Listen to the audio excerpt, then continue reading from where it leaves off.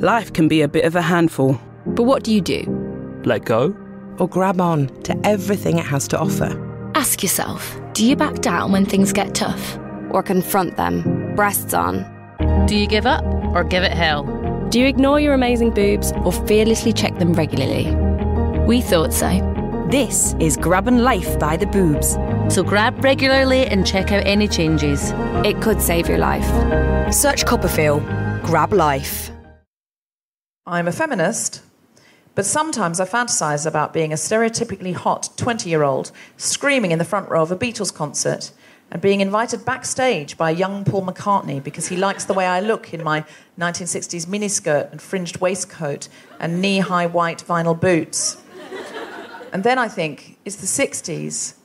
Why am I not hanging out with Maya Angelou and Gloria Steinem or writing for the British Adams Rib feminist magazine? What are you doing here? It's really fun being backstage with Paul McCartney. And I'm like, oh, we start making out. Then I sort of go, I'll get round to feminism later in the 60s.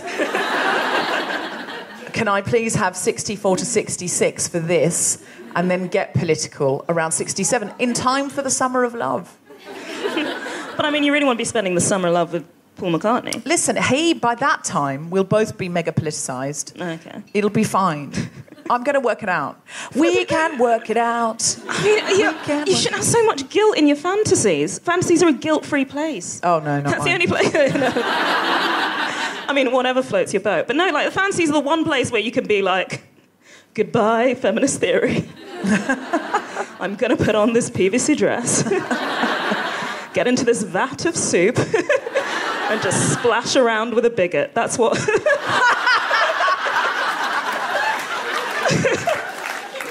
That's what I'm into. Um, there's a lot of stock. I'm sure if you set up a YouTube channel called Splash Around with a Bigot, you would get some serious numbers. That sounds like a genuine ITV show. I'm a feminist, but the first time that I heard about Ariana Grande, I misheard her name and thought her name was Areola Grande. Uh, and so even now, when I see her, all I can think is big nipple.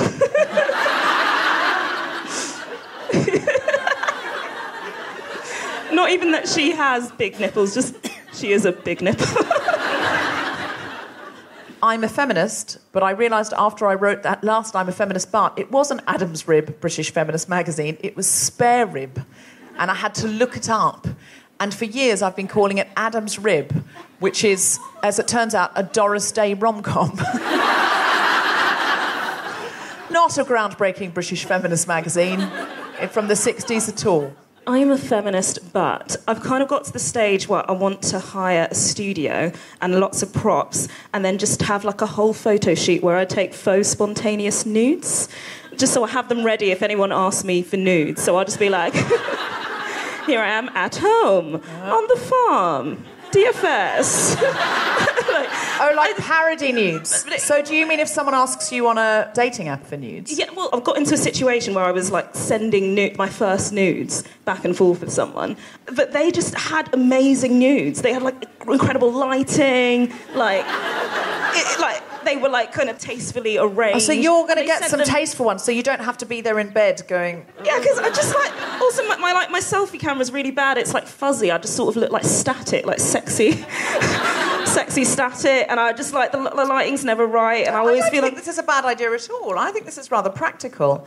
But I, I think you should do some funny parody Yeah, ones, no, though. Some parody ones. Also, like the speed that you send them is important. Yeah. So they're like, "Where are you?" And you're like, "Oh, I'm at a cake shop." And suddenly it's like you with like a like a trifle in front of you. No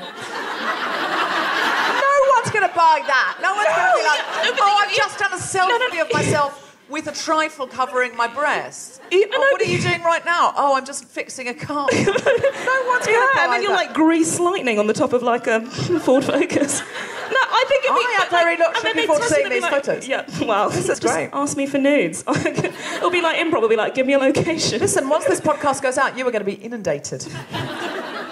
I'm a feminist, but if I could resurrect Maya Angelou now, no matter how much we need her, I would not. Because she died under Obama And it gives me great comfort that she didn't live to see Trump. And it's the main reason I hope there's no afterlife. I mean, the thing is, there may be another Maya. That's the thing. You don't need, like, Is it you? well, yes, it is me. Um, Let's hear your I'll sort it final I'm a feminist part, and we'll decide. We'll, Um, we- this could be the one. This could be the one that makes us go. She's Maya. She's the new. She's the second coming. Oh yeah, this one is really going to make me seem like a good person. Um, I'm a feminist, but I don't trust women who wear silky culottes. Um, um, I think I think it makes them look like characters from Beauty and the Beast mid transformation. like the top half is a beautiful woman, but the bottom half is a silky lampshade. I don't like it.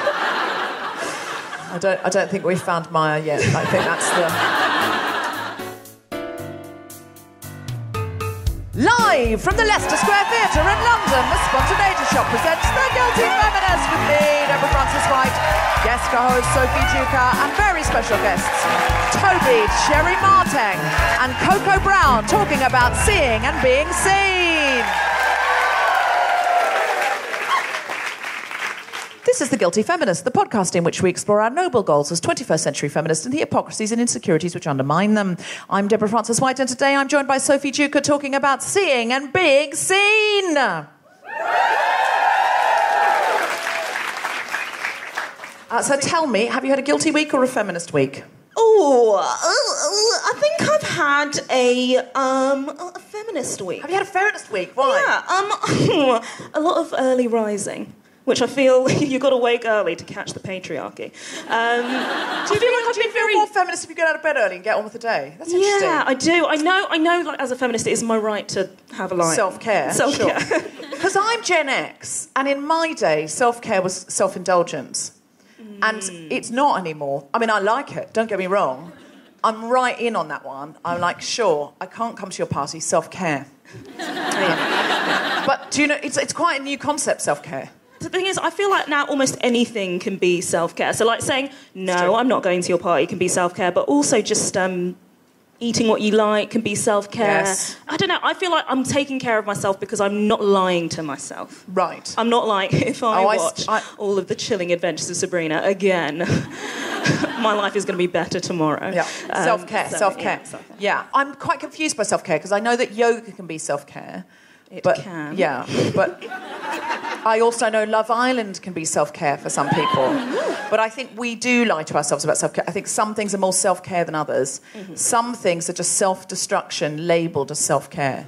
I mean, for me, watching Love Island would be self harm, but I, I appreciate that. It's a fun show. It's a nice show. Oh, yeah, people love Yeah. it. People love it. I haven't plugged in, but I hear from some very intelligent people that there's something, I don't know, some people say, well, it's interesting psychologically, and there are some parts that are really feminist. Nah, they're just already fit. That's you'll hear more from Sophie Duker this evening, cutting through the bullshit. Um, so, Sophie, yes. yeah, how do you feel about seeing and being seen? Do you feel as a woman that you feel comfortable being seen? Were you taught as a child to disappear a bit? Have you always been someone? I mean, you're a performer. Have you always been someone who's liked to be seen? I have recently really liked to be seen. So I'm wearing a very loud colour tonight. You can probably hear it on the podcast. Um, I like wearing loud colours. I like going into places and having people be like, "There she is." But that doesn't always happen because I work with a lot of men a lot of the time, and uh, they don't. They're not very good at necessarily like acknowledging you when you walk into a room. They just sort of like grunt or stare or like look into it. So I'm always very like overtly trying to push myself into people's line of vision and be like, "Hey, how was your weekend?" And they turn away and look at the other something else. So I feel like I have to put myself in front of people's eyes quite a lot. Do you feel that uh, you are better now as you get older and as you get more? Not that you're old, but as you, you know, as you develop in your career, that you're better at being seen, it, being getting into the eye lines. Yeah, I think I am. I think also, even though I like to make sure people can see me, I don't feel like it's as urgent anymore. Because I was like, do I exist? Do I? Exist? And, and it was like, but now I'm like, I definitely exist. I would like people to see me so that we can, you know, acknowledge each other. But it's not as like a desperate need to be seen immediately. I think that might be an age thing as well, because I definitely felt that when I was younger. I felt quite invisible. And I think sometimes people look at me now and think, oh, well, you have this podcast, you're up on stage, you're confident. But when I first came to this country, and I left the Jehovah's Witnesses, which I've talked about on the podcast many times, so I, will not bore you with the details of that. But the cult like nature, or the high control group nature of that organization meant it was very, very difficult for me to, when I decided to leave it, I started going to improv class, which is something I'd done secretly when I was a Jehovah's Witness. And then when the elders had found out, we weren't allowed to do it anymore because it was fun. And, um, uh, and so I went to improv class when I left and I felt like everyone was ahead of me, and I also felt like I didn't quite know how to connect to other human beings without a door frame between us or a coded thing. Like if you go to the Kingdom Hall, everyone's sort of got to interact. That's part of being at the Jehovah's Witness Kingdom Hall. Like there's a certain amount of connection that's required, and other than that, you knock on people's doors, and that's how you interact with people. And when you're working with somebody in a secular way, you're meant to keep a distance and not go for a coffee with anyone or anything like that. So I found it very difficult to connect. And I remember going to improv classes in Leicester Square, actually, really close to here. There was the theatre we used to use, the Tristan Bates in Covent Garden, the, part of the Actors Centre, and that's where we used to do shows. I remember at the interval of the improv show that I mean I wasn't invited to do the show. I wasn't that grand. I was just watching what were called the senior players. We were called rookies. It, it was a class-based system, I'll be honest. and uh, and I used to go and hide in the loo in the interval and like read a book in the loo. Oh no! Yeah. I did that. I mean, not your improv classes. No. God! Yeah, when I was little and shy at school, I used to go and read books in the toilet because you know the library was too social. Yeah. and That's I, I remember that. And it was because it was before we had smartphones. So then we used to have books. And uh, Sorry. yeah, they had pages. It was a How do you different put them on a airplane mode? it, well, you, you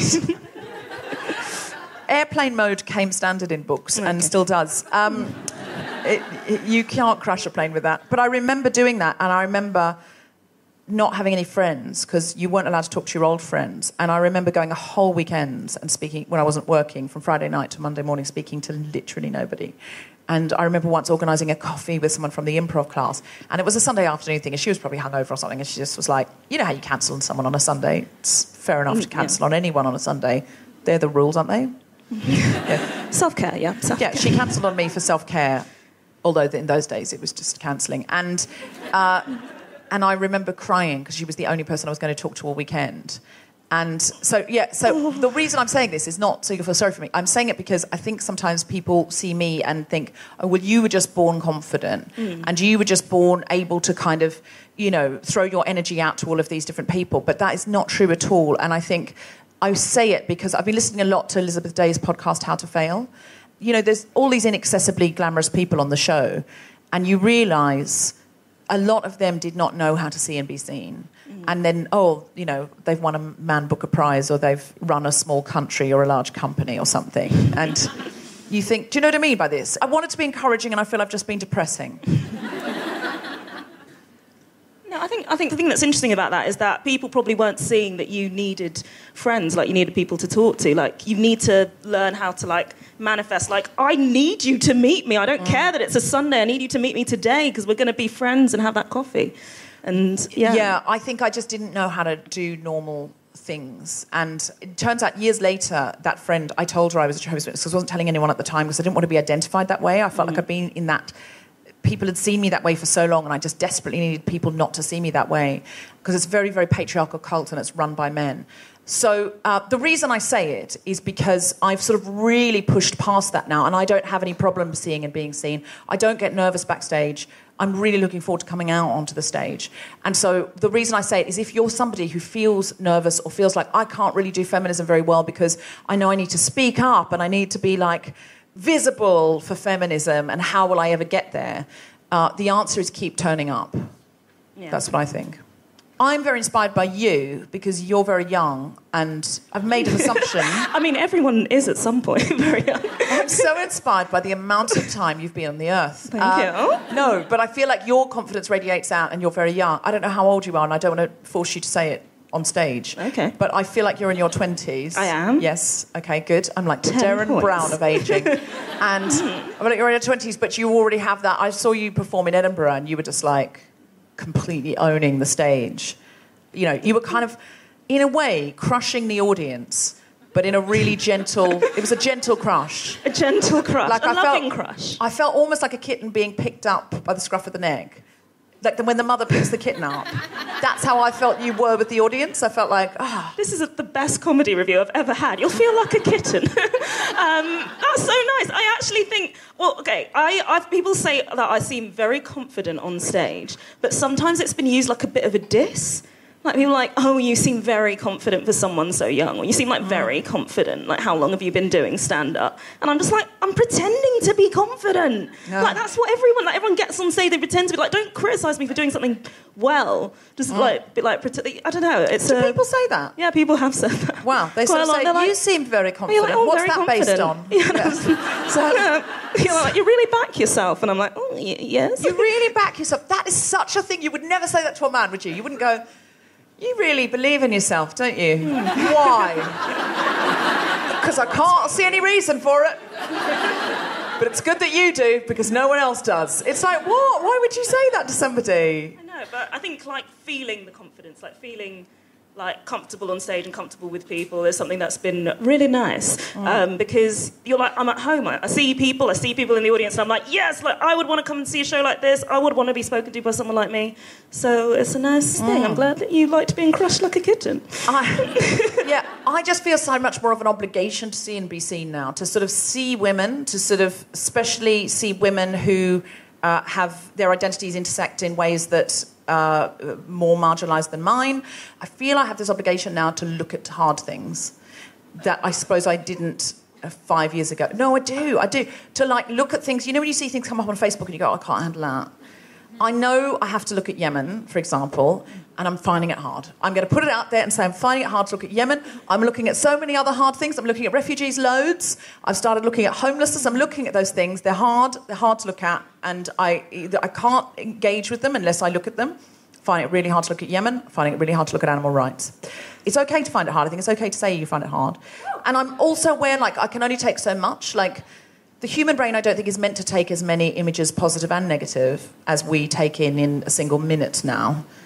So I don't blame myself for it, but I have to get around to really engaging with Yemen because Yeah, it's I so think, hard. I think your brain tries to protect yourself, so you don't actually see terrible things. Like I was walking with my friend once, and she was like, "Oh, look, it's such a cute little dog. It's so adorable." And I was like, "It's a dog with a homeless person who you've completely not Oh, yeah. seen." And I think you just get so used to seeing like pain or terrible things that you stop sometimes just engaging with. You stop seeing it; it becomes invisible Mm. to you, and you have to train yourself and be like, "No, I've got to look for these things Mm-hmm. because if I'm in a place where I can help, then I should." I was like, "Don't- well, "It is a cute dog, but come on."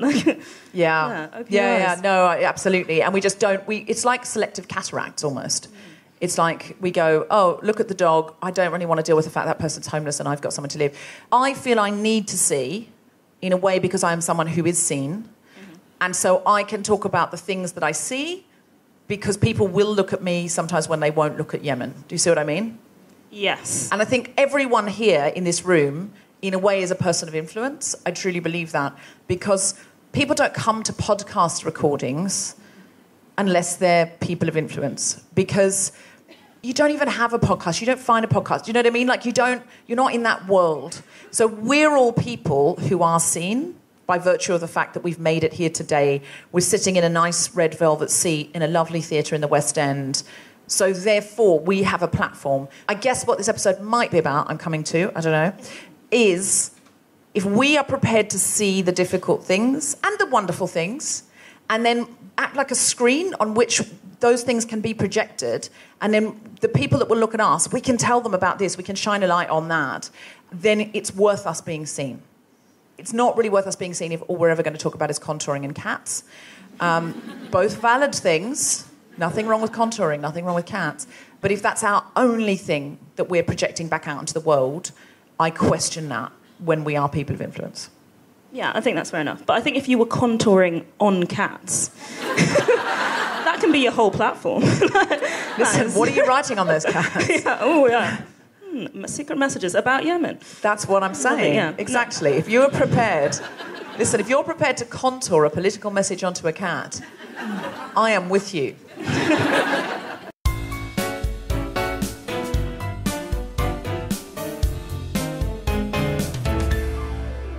All right, are you ready for some stand-up comedy? then please welcome to the stage the wonderful Sophie Duker. Hello,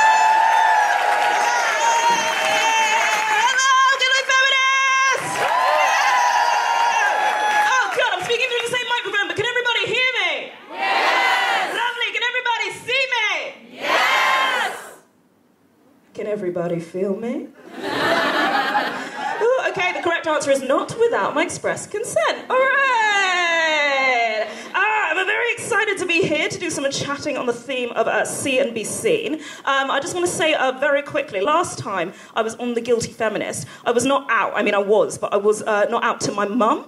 Uh, so I'm very excited to be on The Guilty Feminist and say that I am a queer woman. Uh, my pronouns are she, her, and that bitch. Hey.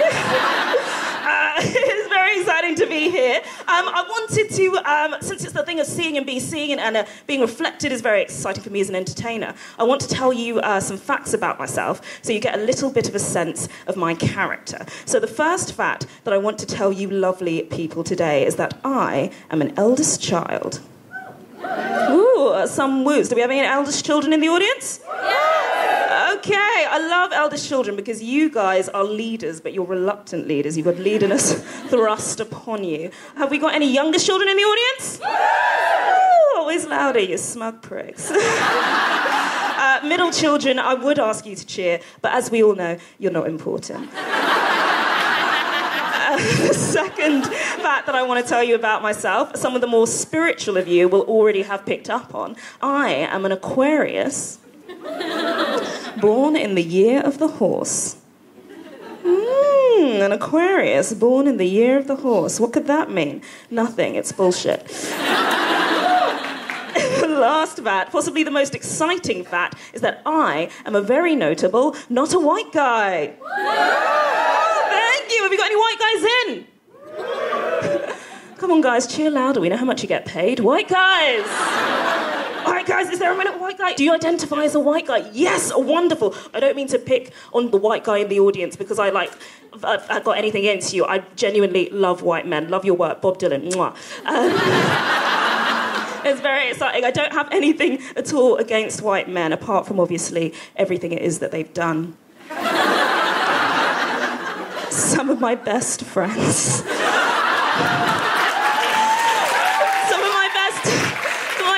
Friends are white. my mother is a white man. Um, but the reason, the reason I speak to you, and I, I promise I'm not, I'm not going to be mean to you at all. The reason I speak to you is because I want to know what is it like uh, being a white man at the moment for you. Difficult. I would say so. Um, no, it is. It's, I think it's a weird time uh, for white men because they were always the ones that got to see and be seen. Like, but now, like, they're feeling increasingly under threat. Like, you know, like the rhino and the shark, great white men going extinct.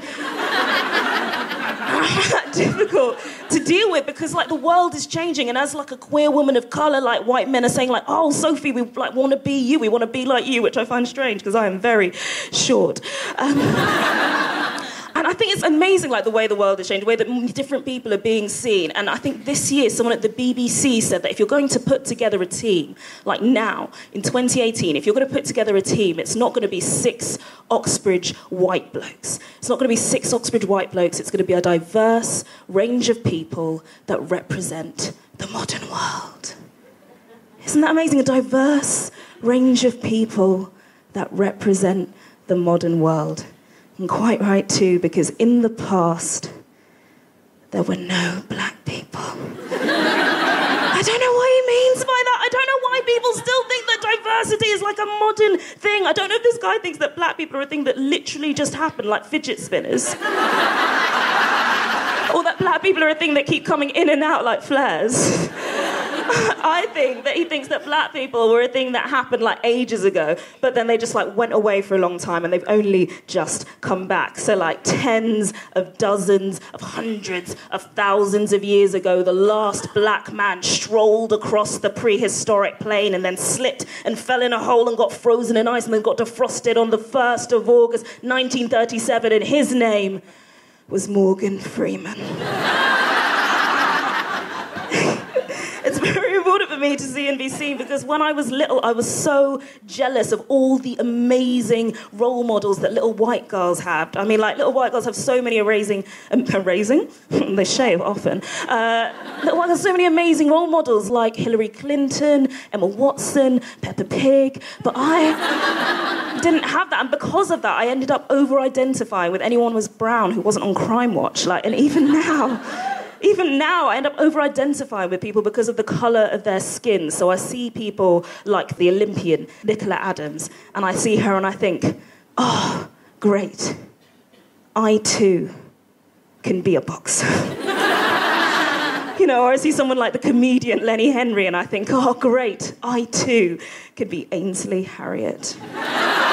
Thank you so much, guys. I've been Sophie Duker. You've been lovely.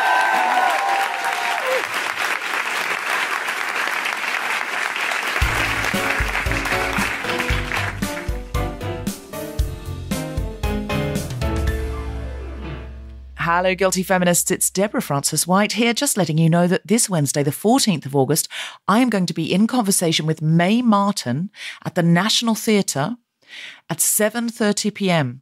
We are going to be talking about sexuality. We're going to be talking about identity. We're going to be talking about Mae Martin's new book and we're going to be talking about her new Netflix show and all of the great juicy crunchy themes therein. Mae and I both going to be signing copies of our books, so come along say hi, get your book signed, get a selfie. It will be loads of fun. Go to nationaltheatre.org.uk for tickets. Sunday, 24th of August, it's the Secret Policeman's Tour at the Edinburgh Playhouse. That's right, the Guilty Feminist and Amnesty International have come together to resurrect this incredibly legendary comedy brand. Our show on the 24th of August will feature me hosting, Rachel Parris, Nish Kumar, Phoebe Robinson from Two Dope Queens, what? Sindhu V, Desiree Burch, Hollie McNish, Rosie Jones, Steve Alley, Jessica Fostekew, Sophie Duker, with music from Jess Robinson and Grace Petrie. And what's more, if you like Derry Girls, well, Siobhan McSweeney, Saoirse Monica Jackson, and Louisa Harland will be there doing a sketch. Oh my God, it's too much.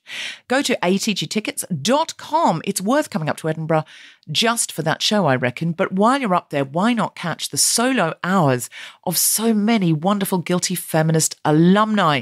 So many brilliant women are up there doing their shows this year. Go to guiltyfeminist.com and check out where they all are. Now we've got a very exciting announcement. We're doing a crossover season. That's right, we're mashing up the Guilty Feminist with some other podcasts. We're doing on August 30th no such thing as a guilty feminist. That's no such thing as a fish. And us mashed up, we're mashing up with Hoovering in The Hungry Feminist. On August 31st, we're doing All Killer No Feminism and Richard Herring's Leicester Square Theatre podcast known as Rulahistapaguffa.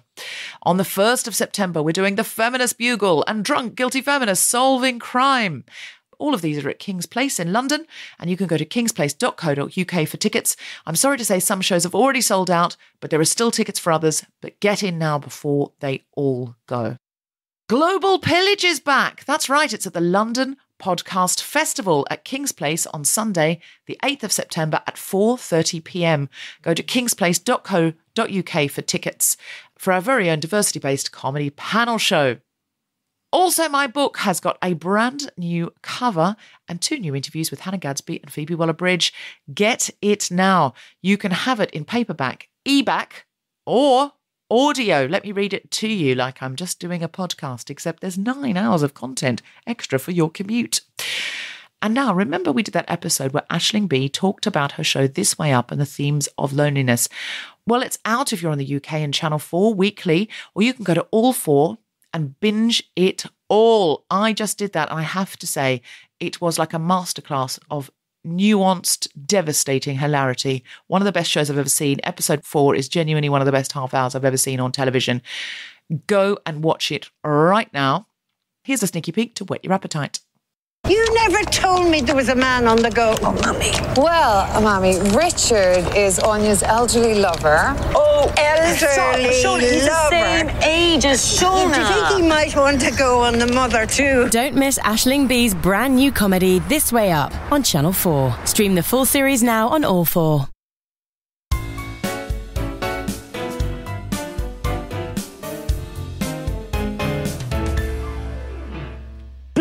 Welcome to the stage the wonderful Deborah Frances-White.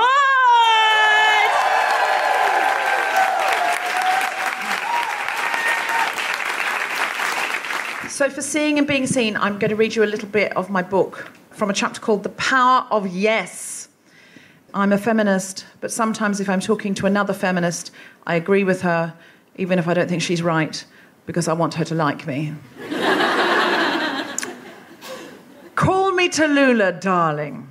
In 1962, when the actress and wit Tallulah Bankhead was 60 years old, she felt like singing Bye Bye Blackbird to an audience. So she threw a spontaneous party to make that happen. She was, of course, very wealthy by then, but she had always behaved this way. In 1923, at the age of 21, she was an aspiring actress who'd had no particular success in New York. She was cast in a London play called The Dancers, based solely on her photograph and a recommendation. The producer got cold feet and sent her a telegram telling her not to come. She ignored it, borrowed money for the fare, got on the boat and talked her way past customs, who told her she had to report to the police station in the morning as she had no visa, money, or evidence of an employer in Britain. She arrived in the West End ready for work. Didn't you get my cable telling you not to come? said the producer. What cable? said Tallulah. Since she'd come all that way, he gave her the job. Tallulah's father was a respectable American senator who had warned her of the dangers of men and alcohol, but as Tallulah often observed, never said a word about women and cocaine. Tallulah was a proud, adventurous, queer woman and identified as ambisextrous. She often opened the door dressed only in pearls and said at parties, What's the matter, darling? Don't you recognize me with my clothes on? She'd often say that to aristocratic men when their wives were standing next to them. Um, brilliant. She was the orgasmic embodiment of sex positivity. She was a big hit in the dancers and soon became a West End star with a huge following of young, working class, and queer women who'd often queue overnight to get penny tickets. Her fans were called the Gallery Girls. Some of them worked as her personal assistants and became close friends. She was a forerunner to Lady Gaga. Tallulah Bankhead is my favourite guilty feminist from history. She was fierce, independent, and ran every room she was in. She was also superficial, vain, and hedonistic. She often remarked that she had no idea where her next magnum of champagne was coming from. she loved to drive, which was the exciting new technology, but she was very bad at directions, so she would hail a taxi and ask the driver if she could follow behind. Her legendary parties were attended by people of different races, classes, gender expressions, and sexual orientations. She once said, If I had to live my life again, I'd make all the same mistakes, only sooner. Tallulah lived her life as one big yes. Not everyone has the freedom from responsibility or access to cash that allows them Tallulah's lifestyle. No one can talk their way past border control anymore. But the spirit with which she lived, the desire to see and be seen without apology or embarrassment, is something we could all borrow. She had no shame about her sexuality, which was extraordinary for a woman in the 1920s and is fairly rare now. Think about how many things you'd like to say and do, how much self expression you're hiding because of what other people might think. Think about the boldness with which you could live if you talked, walked, danced, and dressed like the bravest part of you. Sometimes when we stop caring what other people think, other people think we're wonderful. Sometimes we have plenty of confidence to do the things society approves of competently and be happy to be centre stage, as long as we are conforming. I am talking about having the freedom to live large without validation, to try new things that seem dangerous in some way, and to swim against the stream just because it makes us feel whole. Most of us are scared of ourselves. That's the biggest win the patriarchy has made through undermining generations of women, keeping their top class brains away from books, their wit under house arrest, and their intentions in the dark. Consequently, we, the great granddaughters of anxious women, can be fearful of the voice inside of us that does not wish to conform and play nice, and so we mostly keep it in check. Many of us are living at half mast. We are quieter than we want to be. We carry tension in our body because we swallow our opinions. We hunch to make ourselves smaller. We laugh less than we could. We make funny faces in photos to hide our true selves. We pretend we are happy when we are not. We have inadequate sex. We lie about who we are and what we want. British author, journalist, and wordsmith Rebecca West once said, People call me a feminist whenever I express sentiments that differentiate me from a doormat. She also wrote, Only part of us is sane. Only part of us loves pleasure and the longer day of happiness, wants to live to our 90s and die in peace in a house that we built that shall shelter those who come after us. The other half of us is nearly mad. It prefers the disagreeable to the agreeable, loves pain and its darker nights despair, and wants to die in a catastrophe that will set life back to its beginnings and leave nothing of our house save its blackened foundations. We pretend all the time that we are content with the longer day of happiness and deny that sometimes we love pain and to scream at the sky and take up space and demand attention and request affection. Tallulah Bankhead only left her most beautiful dress in the wardrobe when she came to the party naked. One day I hope to be brave enough to throw a spontaneous celebration because I feel like singing Bye Bye Blackbird. We need to practice leaving the house in the piece of perhaps metaphorical clothing that is most us until it's all we know how to wear, or at least until we know how to shake it when we want to. We need to say yes to being on panels and speaking on topics on which we are not experts, but about which we can make educated guesses until that becomes fun for us. We need to be and invent the change we wish to see in the world because we are sure we are the best woman to do that. Ask people out and get used to them saying no, and even more scarily, yes. We need to invite people round for feminist choir practice and do a spontaneous photo shoot with a dressing up box when they're there, or maybe a naked one. we need to learn from the queer community, if we are not already in it, to get our glitter on and turn the tunes up. Let's tell the world we never received the cable that said don't come and turn up anyway, shameless and ready for work. What cable? Thank you very much.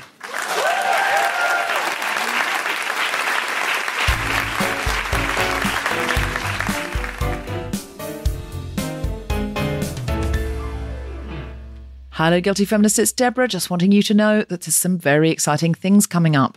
On August the 24th, we're at the Edinburgh Playhouse. That's next Saturday night uh, for the Secret Policeman's Tour, which is a Guilty Feminist and Amnesty International show. It is going to be a riotous night for human rights. Really, really don't miss it. I know I'm biased, but I really do think it's going to be the show of the fringe, no exaggeration. I'm hosting, and we have some very special guests, including Rachel Parris, Nish Kumar, Phoebe Robinson from Two Dope Queens, Sindhu Vee, Desiree Burch, Hollie McNish, Rosie Jones, Jessica Fostekew, Sophie Duker, Grace Petrie, Steve Alley, and Jess Robinson. In addition, Siobhan McSweeney, Saoirse Monica Jackson, Jamie Lee O'Donnell, and Louisa Harland, who are Sister Michael and Erin Michelle and Orla from Derry Girls, are going to do a very special, exciting performance. Nish Kumar and Rachel Parris are going to do an exciting performance. Rachel Parris and Grace Petrie are going to do an exciting performance. We've really, really got some treats in store for you, including the four Yorkshire women really, really don't miss this show. Go up to Edinburgh, especially if you have to for it. It's going to be a true wonder. Get tickets at atgtickets.com, but get them now. They're selling fast. We have a Guilty Feminist crossover podcast season. That's right, we're mashing up the Guilty Feminists with some of your favourite podcasts, and we're performing them live at King's Place in London from Friday, the 30th of August to Sunday, the 1st of September. It's a long weekend of podcast mashups. Friday, we have No Such Thing as a Guilty Feminist. That's us and No Such Thing as a Fish.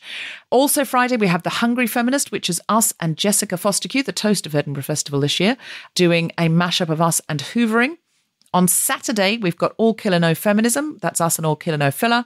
Plus Rolla Guffer, which is us plus Richard Herring's Leicester Square Theatre podcast. An unlikely pairing and one that's going to be riotous. On Sunday, we have the Feminist Bugle. That's us and the Bugle. If you're terrified of the news and you love feminism, that one's for you. And finally, on Sunday, Drunk Guilty Feminists Solving Crime. You can get tickets for all of those at kingsplace.co.uk. And on the 8th of September, I will be in conversation with Sara Pascoe for her new book at 7:30 p.m. at Queen Elizabeth Hall.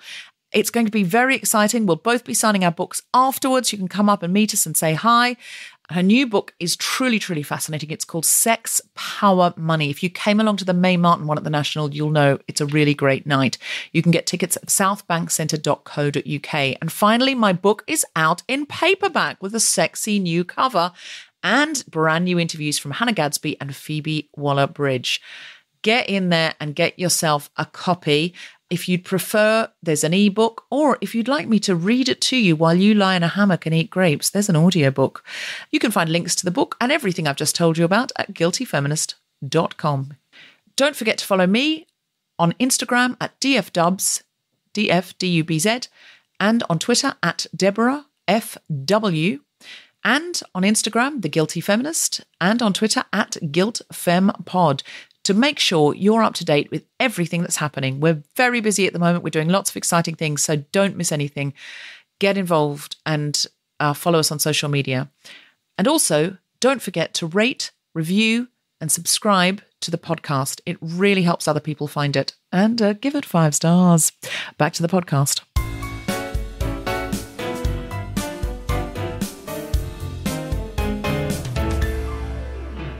Our first guest today is the founder of the Black Ticket Project, an initiative offering young black people free tickets to theatre shows in London, as well as being an extraordinary theatre director and producer. Please welcome Tobi Kyeremateng.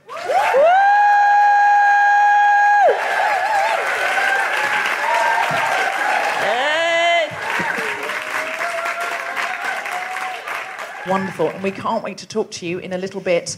But first, we have to bring to the stage our second wonderful guest. She is a theatre maker, she's a vocal artist, she's a spoken word performer. Put your hands together and welcome to the mic to perform the wonderful Koko Brown.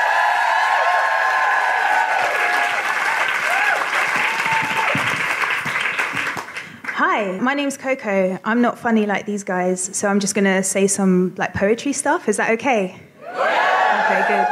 That would have been so awkward if everyone was like, "Mm, nah, give it a miss. Hard pass, actually. Um, okay, I'm gonna do two pieces for you. The first one I'm going to do is from a show that I'm making called Grey, which is about depression and black women's mental health. And it's fully BSL, which is British Sign Language integrated. I don't have my other performer with me who does all the BSL, so I feel really lonely, but it's okay. She said it was okay for me to do this, thank goodness. So I'm going to do that one first, and then I'll do a second one, because that's usually how doing two poems works. um, this is called Strong Independent Black Women. So, what have you got to be sad about when you are a strong adjective, definition, able to withstand force, pressure, or wear, having the power to move heavy objects or perform other physically demanding tasks? True. It's tasking to be a woman. A little more to be a black woman, to always be that woman, the strong woman, better do no wrong woman, always being wronged woman. What have you got to be mad about? I got a lot to be mad about. Solange told you so. Though I'll get over it again and again and again and again and again and again and again and again and again and again and against all odds, I'll pull through. Probably. Just know there'll be more women being strong for you, strong with you, strong black women without you. Who would the world shit on? So, what have you got to be sad about when you are a strong, independent, adjective, definition, separate, not depending on another for livelihood or sustenance, starving to see yourself in TV, in magazines, on the big screen? What do you mean you can't be seen? No, Beyonce doesn't count. No. Roots doesn't count. No, 12 Years a Slave doesn't count. No, the maid in that historical series doesn't count because when you are only seen as a slave or the sassy sister with an A or the girl whose one line is, hey, or you get less than a line, you get the ever glorious, mm hmm. So, what have you got to be sad about when you are a strong, independent, black, adjective. Definition of the very darkest colour owing to the absence of light. Always aggressive in the absence of light. Perpetually tough in the absence of light. Sharp tongued in the absence of light. Gifts of wagging fingers in the absence of light missing for six weeks in the absence of light, missing for six months in the absence of light, missing for six years. In the absence of light, you're sassy, beastly, angry, unhuman, unfeminine, uniquely indestructible, unprotected. In the absence of light, you are only ever seen in the absence of light. So, what have you got to be sad about when you are strong, independent, black? Adjective, definition of the very darkest colour owing to the absence of light or the complete absorption of it. And so, I'll remind myself that I am light, that I am love, that I am whole that I am enough, that I am weakness and strength, that I have a weight on my back, but I have balloons tied to my mind to remind myself to keep my head high. I may not always be strong, but I have strength, although my fragility sings a high C in the ears of anyone that will listen. And so I will remind you, strong, independent black women, that you are light, that you are love that you are whole, that you are enough. Thank you.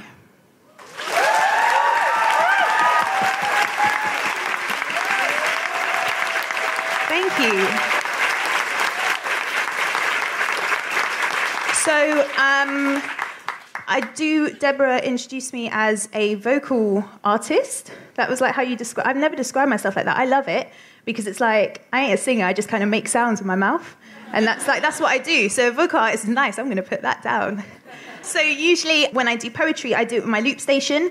Uh, my loop station is like an additional limb. I love her. She's called Lulu. I have two, but I love one more than the other. But that's fine because I paid for them. They're not my kids. Um, I usually do it with a loop station, so I do music and backing. And this, t- I don't have it. I, I ain't got it for the people who can't see. I ain't got it. I'm not lying. Um, so this piece that I'm going to do is called "I Was a Tree."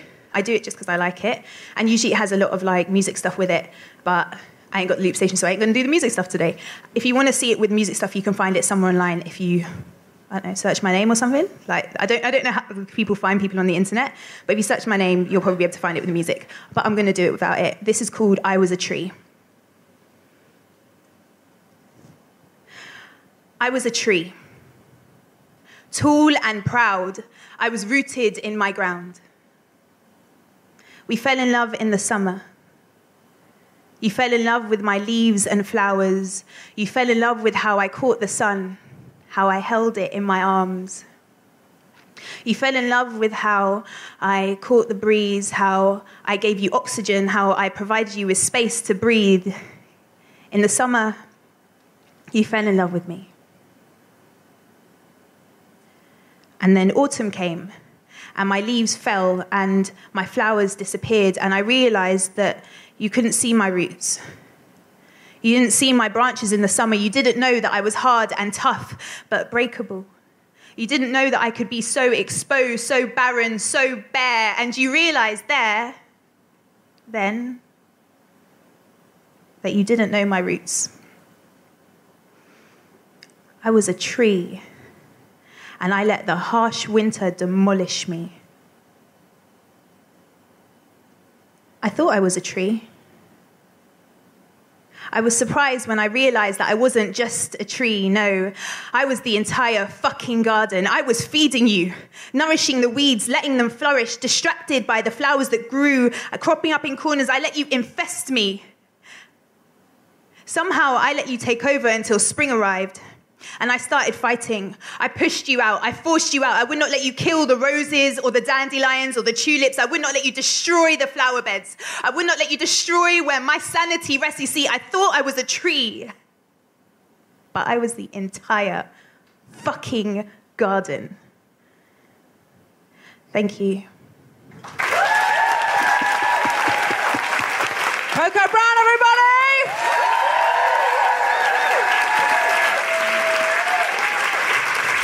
Thank you, Koko. That was just wonderful. Absolutely fabulous. Um, so, the reason I've asked both of you today is because I feel like you're both people who are playing in spaces and drawing people into spaces who wouldn't otherwise be there. So, it's not just some kind of bubble of posh people entertaining each other So, could you tell us something about your work, Tobi, and also the Black Ticket Project, which I think is so, so phenomenal? Yeah, thank you. In a nutshell, I've been working in theatre since I was 16. I started at Oval House Theatre, big up Oval House, um, uh, as a young associate. And then after college, I went and did an apprenticeship at Battersea Arts Centre and then became junior producer at Battersea Arts Centre. So I was there for about three and a half years. Then left to work for an organisation called Apples and Snakes that works with poets, but also in that time worked with the Old Vic Theatre for a year. At the moment, I'm at the Bush Theatre. So I've kind of just hopped around in lots of different places in a bit of an unconventional way. And I think producing as well is quite an unconventional. No one really knows what producing is. No, what um, is it? I don't know. Like I can't really. I don't know how you to. don't know, then nobody knows. Yeah, you just do stuff. You just pull it together, and then it happens. Yeah. And it's so, like, like being a producer is like being a scammer. Yeah, it can be. You do like spend other people's money. Which is I like it. cool. I'm, I'm into it. So you find other people's money and put on uh, performances I try. that you believe is worthy work to put in the world. Mm. And what's the Black Ticket Project? So in 2017, a really great play called Barbershop Chronicles was on at the National Theatre. Woo! Shout out to Inua. So I loved that play, and I went to see it the first time it was at the National, and it was still a very kind of white National Theatre audience who trust the work there, so will buy tickets for anything. And watching that show, I was sort of like, you know, my dad and my brothers would love to see this. Like, I went to the barbershop with them a lot when I was younger, and so I bought a bunch of tickets and kind of gave them out to young black men to see the play. I think only like 30 tickets. And then Nine Night was on at the National Theatre after that um, by Natasha Gordon. And so I went back to the National and was like, this is what I did for Barbershop Chronicles. I did, they didn't know, I didn't tell them.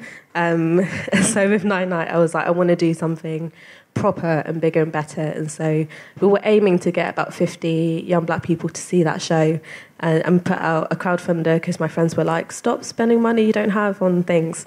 Um, which is true, I'm broke. Um, and so, and so we put out a crowdfunder and ended up crowdfunding enough to take 250 black young people to see Nine Night, which was amazing. And then it kind of just grew from there, really. Why do you think it is that like black people don't f- buy tickets for things? Yeah. Like, I mean, I, I think it like obviously like it's different to like to do like the spaces, but every time I take like my family or like my aunties to some tea, so they're like, "This is amazing. We did not know this was here," but they just don't motivate. They see like ads and they don't think it's for them. Yeah. Like, why do you think that people aren't like purchasing, like aren't seeking it out? I think theatre's always been quite an exclusive space. It's like, oh, we're going to the theatre, we're so cultured. Uh, so it's always been like that kind of space. And I feel like, so historically, the kind of audiences that go there just aren't those kind of people. And so even though now there's such a breadth of work that speaks to so many different audiences, but if historically you've been excluded from a space, you're not just going to start going there because even though tickets might be like £10, it's sort of like, well, I could go to this for £10 and I trust that thing and I know that I'm going to enjoy it. Or I could go to this huge building in the middle of nowhere to see something that I've never seen before, and that feels like a risk. I think it can feel dangerous as well going into a space where you think nobody else is going to be like me. Yeah, You know, I've got friends who are black actors who say Edinburgh is a challenge. Susan Wokoma talked Yeah. about it on this show before. She's talked about it and she said, I steal myself in Edinburgh, get my cappuccino. I think, no, I'm allowed to be here. I went to RADA. Why can't I be here? I'm allowed. She said, but she's standing in the queue. She's a dark skinned black woman. She's the only black person there. And she said, she, no, it is intimidating sometimes. Yeah. And I absolutely get that. And friends of mine who went to a play and they said they were the only white people there because it was a black play, and I guess they had reached out and found a big black audience. They said, "Oh, it was, you know, it was weird being the only white people," and it was, and it, they said, Oh no. exactly, but exactly. And I said, "Isn't that good though? Because you know what it's like for black people to rock up to the National, and even when it's a black play at the National, where everyone on stage is black." Nearly all the audience is white. Yeah. yeah. And so what you're doing is ingenious because you're going, you are allowed to come to this. Here's a free ticket. We're all going to In meet the there stalls together. as well, Yeah. the good seats. You can't have crap seats. Where you're going to have a good seat in the stalls. We're all going to be together. You're safe. You can walk into this building. Here it is. This is where you find it. It's going to be fine. And then once you've been a couple of times, then you go, oh, actually, I want to see that. Oh, actually, I'm mm-hmm. interested in that. Or I might want to participate. And Koko, I want to throw to you now because I think what you do is remarkable because I think what Sophie and I do, there is somewhat of a barrier in people's minds with stand up comedy of like, what if this isn't funny? And then what if people don't laugh and it's terrifying? And the thing is, stand up isn't terrifying, but I understand why the barrier's there. And I think what you're doing is saying, as long as you've got something to say, here is an art form.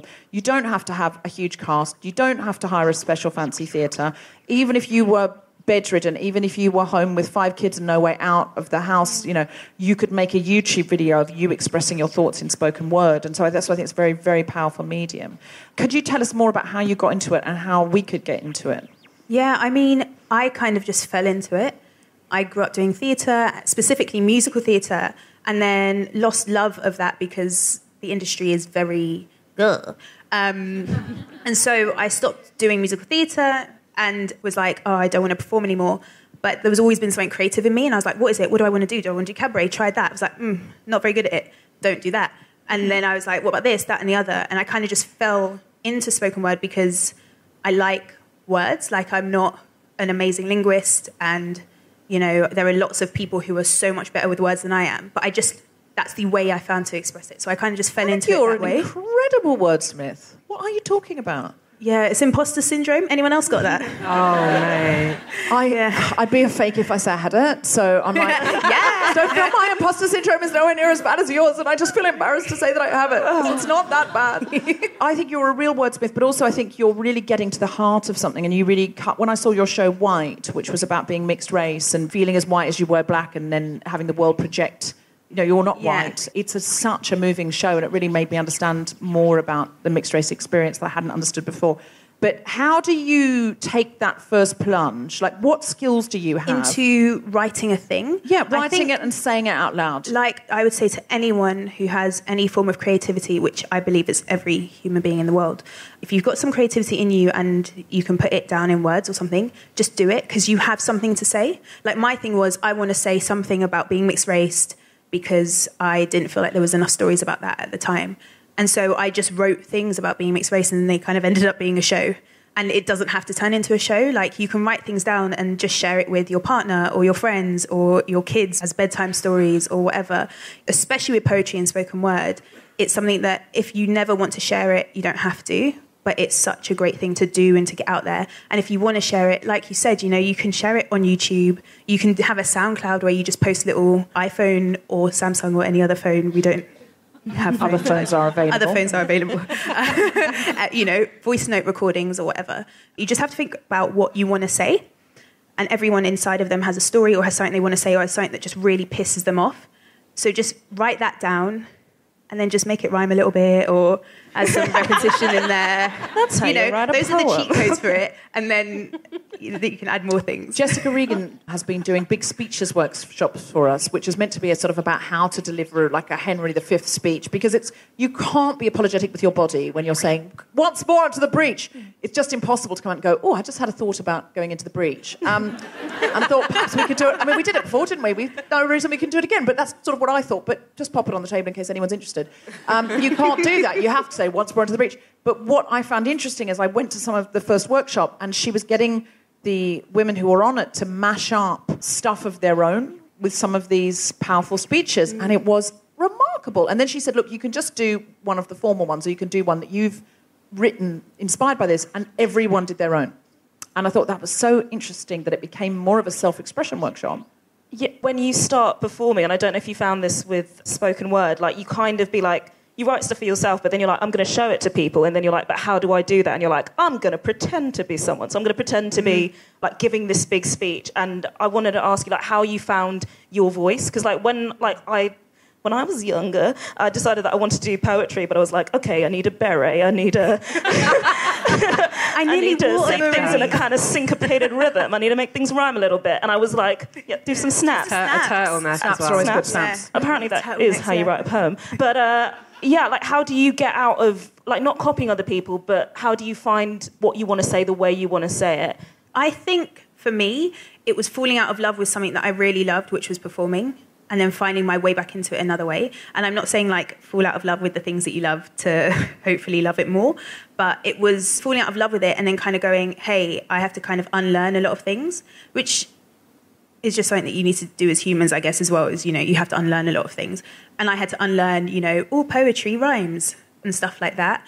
I kind of found my voice just by doing it a lot, just by writing a lot and kind of going. I did start off when I first performed. I've got a poem called Not All Men, which is about the hashtag Not All Men, and it always gets a reaction. I would have done it here, but I was like, ooh. Um, um, so I've got that poem, and when I first started doing it, I was doing it like spoken wordy, like you know, not all men. No, like you know the timbre that like spoken word, because I was like, that's how you do it. You know, there's a rhythm, and it's like this when you emphasize the things. you know, and I was like, oh my god, this feels so dumb. This feels like I'm acting, and it's like it's not fair and it's not fun. And so I just kept saying things aloud, and I'd find my own rhythm, and I'd when I was writing, I'd find my own things that I like. Like I really enjoy repetition like I look back at all my poems, I'm like, do I have no original thoughts? They just keep going.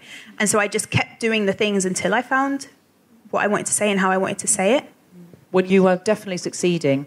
And I'd love you to come and teach a workshop for the Guilty Feminist, actually, if you'd be interested. Yeah, to, I'd yeah. love that. I would go that. if anybody, um, yeah, just for you and me in a room. Anyone else and, Tobi, you are producing for the Bush right now. Yeah. What kind of work are you platforming, and how can people get involved in if they wanted to write longer plays or pieces for more than one character, if they wanted to present a piece of work?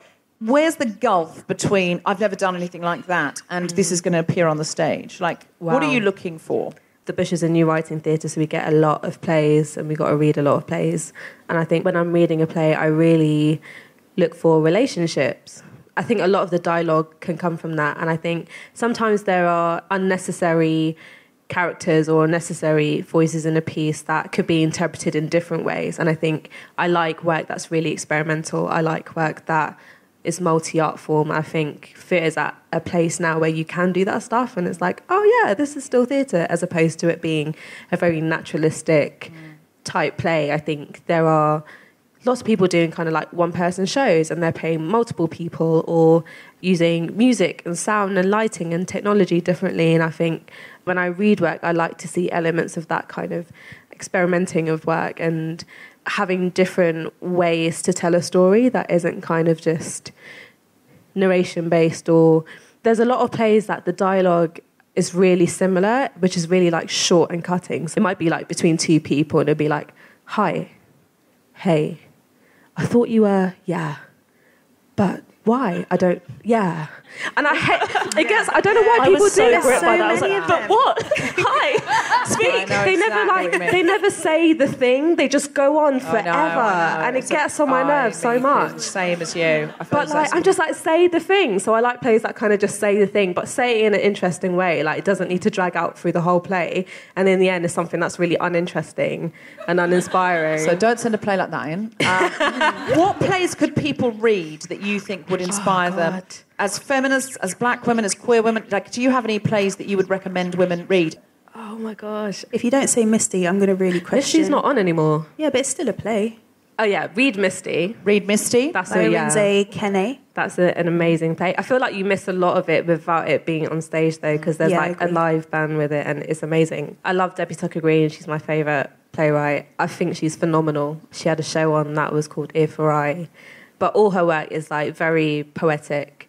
Oh, see Nine Night. Nine Night is on at the moment as well at Trafalgar Studios. Nine nights. Yeah. Nine nights. And that's about the nine nights in a Jamaican family's wake. Is that right? Yeah, so the matriarch of the family passes away, and they've got Spoilers. a tradition where they do. Um, That's the I mean, you kind of know, yeah. That's the op- that's the opener. It's not a spoiler. Um, and so there's nine nights of mourning that happens, but there's so many other things that are part of that show, and it's written really beautifully.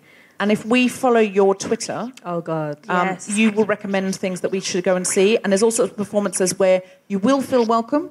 You'll feel welcome if you are a black woman or an Asian woman. You'll feel welcome if you are a queer woman. There are spaces where you will feel welcome if you're disabled. Don't look at the theatre and go, oh, not Yeah. for me. There's lots of £10 tickets. If you are a young black person, you can get involved with the Black Ticket Project. And could you please tell us what you need from us as theatre makers, as people who just perhaps have some disposable income, they'd be happy to contribute. Mm. How do we get involved with the Black Ticket Project if we want to help?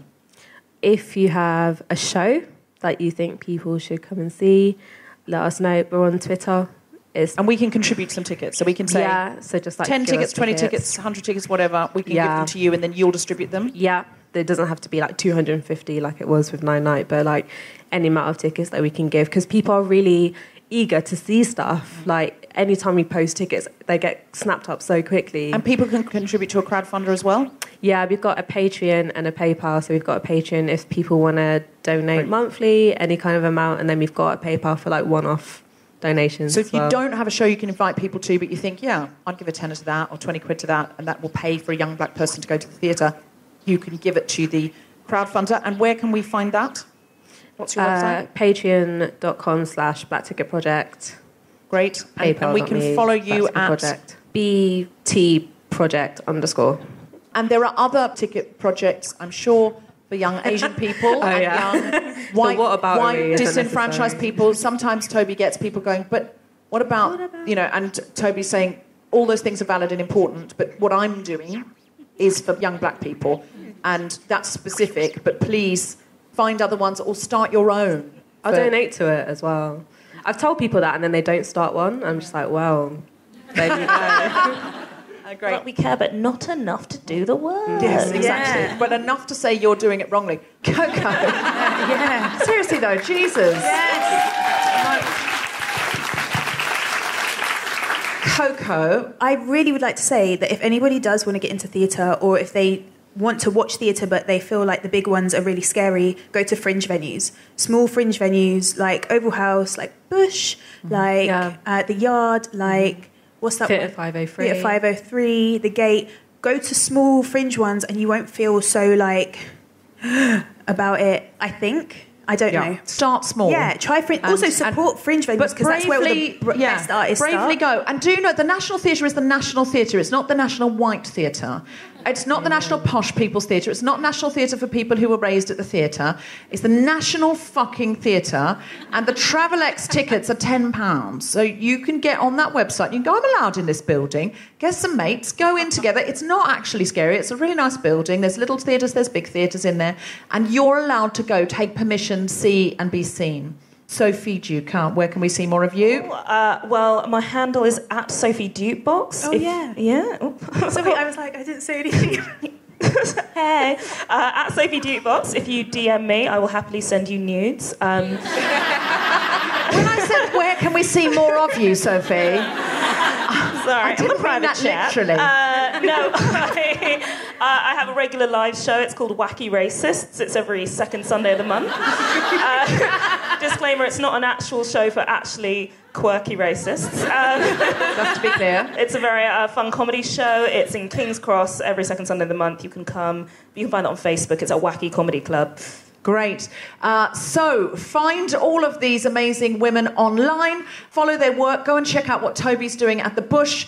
Go and check out everything Koko does. Follow her online. Go and check out Wacky Racists. Could you give a big, big round of applause for the wonderful Koko Brown? The amazing Toby Cherry Martang. And my co-pilot for this evening, the wonderful Sophie Duker. We have been the Guilty Feminists. Good night.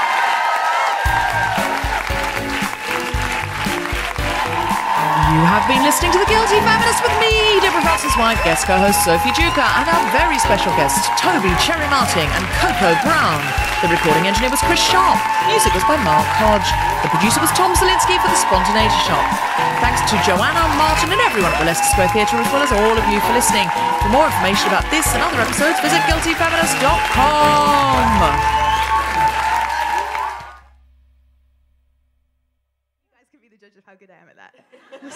imagine if I was terrible? What if I'm terrible and it's just like I'm like the token terrible when they're like, oh, you know. I don't know now. If this is just you talking all spoke, spoken word. Uh, what if I'm terrible? But I don't know. Maybe I'm terrible. I'm like, am I performing spoken word with you? I don't know. Everything, I don't everything know. is spoken word if you try hard enough. Everything. Everything is spoken word. But is everything spoken word or is nothing word spoken?